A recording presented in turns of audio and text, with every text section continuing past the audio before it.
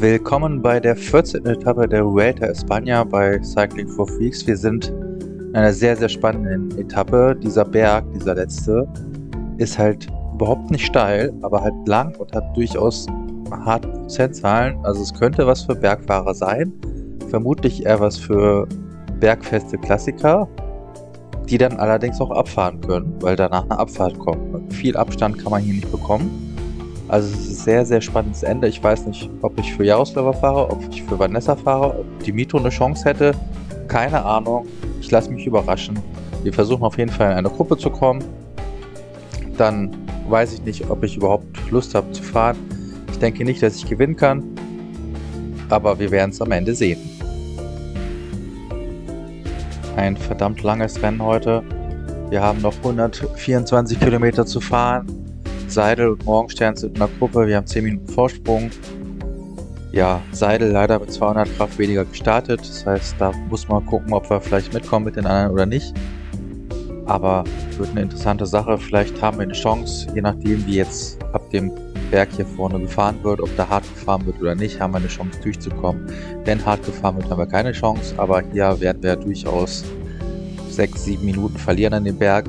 Selbst wenn wir voll rot durchziehen, von daher spannend. Wir müssen noch den Fahrer von Lula loswerden, der nicht kooperieren wird. Von daher müssen wir nochmal attackieren, da verlieren wir nochmal Kraft. Ja, mal gucken, wie es wird.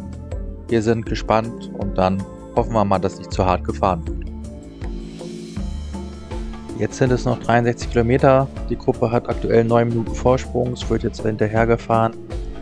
Mal gucken, wie viel Vorsprung wir halten können. Wie gesagt, ich gehe davon aus, dass sieben Minuten definitiv reichen am letzten Berg. Es könnten sogar sechs reichen. Allerdings müssen wir noch diesen Lula-Fahrer loswerden. Das heißt, wir brauchen nochmal eine rote Attacke. Da verlieren wir noch ein bisschen Kraft.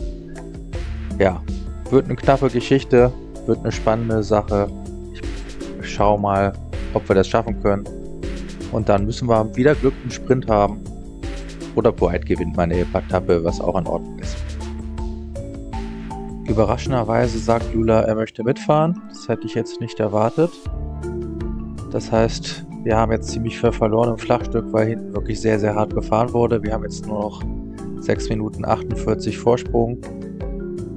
Ja, ähm, dadurch, dass wir nicht attackieren müssen, haben wir natürlich einen kleinen Vorteil, dass wir wirklich da ein bisschen sparen an Kraft. Wir sind zu dritt, das spart auch an Kraft. Ja, mal gucken, wie weit wir kommen. 83 flach ist auch schon wirklich eine Hilfe für ihn. Und dann gucken wir mal, dass wir da vorankommen. Morgenstern lasse ich jetzt schon fallen, dass wir da auch eine gute Chance haben. Petruschny verliert seinen Helfer. Und dann schauen wir mal, wie wir den Berg überstehen. So, das erste steile Stück des Berges überstanden. Es sieht wirklich sehr, sehr gut aus. Wir haben jetzt nur ein bisschen mehr als eine Minute verloren. Nee, nicht mal eine Minute. Das sieht sehr, sehr gut aus, dass wir durchkommen können. Es sind auch nur noch 15 Kilometer bergauf. 6 Minuten Vorsprung noch, dann ist eine Abfahrt. Bei der Abfahrt verlieren wir mit den Werten so gut wie nichts. Ähm, Encore fährt auch schon, der jetzt gar nicht die schlechtesten Werte hat. Also es ist jetzt nicht so, dass die jetzt langsam den Berg hochgefahren sind, sondern wir haben es schon versucht. Aber überraschend verlieren wir wenig, hätte ich nicht gedacht. Aber gut für uns. Mal gucken, ob die Einigkeit bestehen bleibt oder ob hinterher noch gefeitet wird. So, wir sind jetzt kurz vorm Ende des Berges. Wir haben immer noch 4 Minuten 46 Vorsprung. Hinten sind schon die besten Fahrer gefahren. Dimitro ist leider abgehangen. Das war auch klar mit der Form. Das war zu erwarten. Ich fahre jetzt hinterher. Ein paar Kilometer bergauf, ein paar Kilometer bergab. Sollte noch okay sein. Vielleicht fahre ich auch bei dem einen oder anderen ran. Vielleicht gibt es ja noch mal eine Attacke. Ähm, ansonsten vorne sind wir durch. Ich werde mal gucken. Wie gesagt, ich bin mit 200 Kraft weniger gestartet. Das heißt, die anderen werden mehr Kraft haben als ich. Ich glaube, es war ein bisschen mehr Sprint. Ja, mal gucken. Sobald der erste rausgeht aus dem Tempo, werde ich auch rausgehen aus dem Tempo. Das ist mein Plan. Und dann werden wir sehen, ob wir am Ziel was erreichen können oder nicht. Top 3 ist schon mal ein gutes Ergebnis für mich. So, die Gruppe ist wie erwartet durchgekommen. Drei Minuten Vorsprung. Hinten hatte ich nochmal Vanessa attackiert. Allerdings hingen diese ganzen Fahrer an mir dran. Drei Fahrer von Atletico Lula, einer von Alive and Dead, sodass ich da nicht mehr fahren konnte. Auchich ist dann geblieben. Hier hinten Dimitro auch noch gerade so innerhalb der Regenerationsgrenze. Ja, mal schauen, wie es morgen wird. Morgen alles ein bisschen steiler, ein bisschen heftiger, aber nicht ganz so lang.